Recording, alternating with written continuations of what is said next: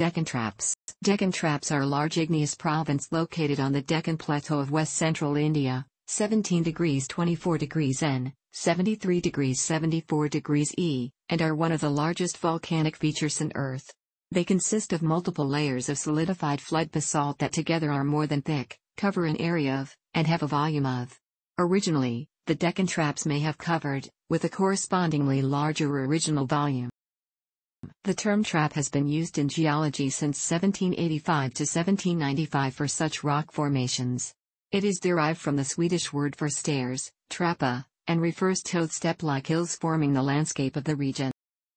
The Deccan Traps began forming 66.25 million years ago, at the end of the Cretaceous period.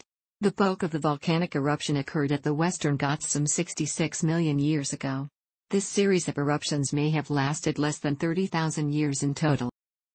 The original area covered by the lava flows is estimated to have been as large as, approximately half the size of modern India. The Deccan Traps region was reduced to its current size by erosion and plate tectonics. The present area of directly observable lava flows is around. The release of volcanic gases, particularly sulfur dioxide, during the formation of the traps contributed to climate change. Data point to an average drop in temperature of 20 degrees Celsius, 36 degrees Fahrenheit, in this period. Because of its magnitude, scientists have speculated that the gases released during the formation of the Deccan Traps played a role in the Cretaceous Paleogene KPG extinction event, also known as the Cretaceous Tertiary extinction. It has been theorized that sudden cooling due to sulfurous volcanic gases released by the formation of the traps and toxic gas emissions may have contributed significantly to the KPG, as well as other mass extinctions. However, the most popular current consensus among the scientific community is that the extinction was triggered by the Chicxulub impact event in North America, which would have produced a sun-like blocking dust cloud that killed much of the plant life and reduced global temperature, called an impact winter. Work published in 2014 by geologist Gerta Keller and others on the timing of the Deccan volcanism suggests the extinction may have been caused by both the volcanism and the impact event. This was followed by a similar study in 2015. Within the Deccan traps at least 95% of the lavas are tholeiitic basalts. Other rock types present include alkali basalt, nephelinite, lamprophyre and carbonatite.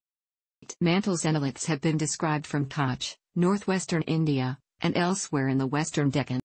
The Deccan traps are famous for the beds of fossils that have been found between layers of lava. Particularly well-known species include the frog Oxyglossus pusillus, Owen, of the Eocene of India and the toothed frog Indobatrachus, an early lineage of modern frogs, which is now placed in the Australian family Myobatrachidae.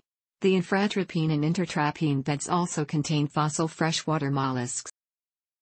It is postulated that the Deccan Traps eruption was associated with a deep mantle plume.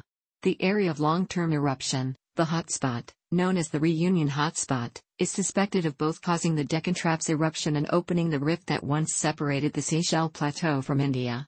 Seafloor spreading at the boundary between the Indian and African plates subsequently pushed India north over the plume, which now lies under Reunion Island in the Indian Ocean, southwest of India. The mantle plume model has, however, been challenged. Data continue to emerge which supports the plume model. The motion of the Indian tectonic plate and the eruptive history of the Deccan Traps show strong correlations. Based on data from marine magnetic profiles, a pulse of unusually rapid plate motion begins at the same time as the first pulse of Deccan flood basalts, which is dated at 67 million years ago. The spreading rate rapidly increased and reached a maximum at the same time as the peak basaltic eruption stopped the spreading rate then dropped off with the decrease occurring around 63 million years ago, by which time the main phase of Deccan volcanism ended. This correlation is seen as driven by plume dynamics. The Indian and African plates' motions have also been shown to be coupled, with the common element being the position of these plates relative to the location of the Reunion plume head. The onset of accelerated motion of India coincides with a large slowing of the rate of counterclockwise rotation of Africa. The close correlations between the plate motions suggest that they were both driven by the force of the Reunion plume.